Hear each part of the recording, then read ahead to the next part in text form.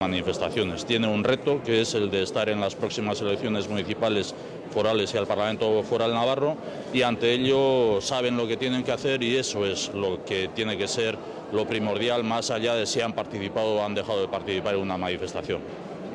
Bueno, pero yo creo que los gestos eh, los tendremos que ver a partir de cuando la izquierda abertzale presente los estatutos de la formación política ante el registro del, Ministerio de Interior. A partir de ahí será cuando los demás tengamos que valorar. Hasta el momento lo que es eh, lo que nos corresponde a los demás es una exigencia y es que se disocien del mundo del terror y un deseo que tengan la valentía de afrontar la situación en el contexto en el que estamos viviendo y que aprovechen además esta oportunidad.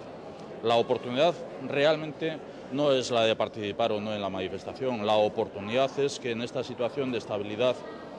hasta las elecciones municipales y forales tienen tiempo para hacer los deberes.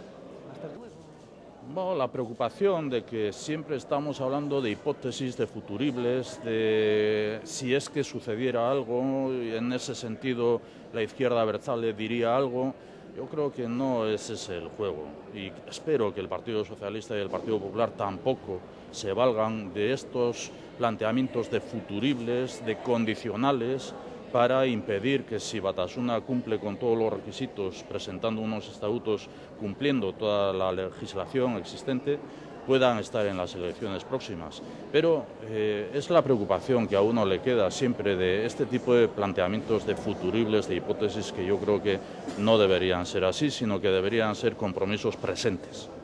Pues yo,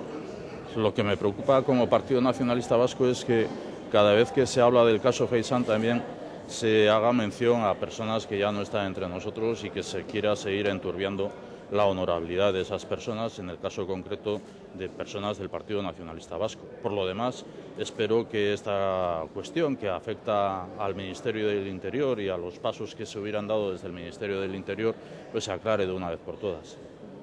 No, yo creo que con los pasos que ha dado el Partido Nacionalista Vasco ha quedado claro, por lo menos en lo que de información hasta el momento disponemos, que el Partido Nacionalista Vasco no tiene nada que ver en estos casos.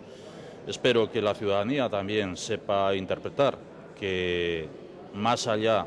de lo que se publica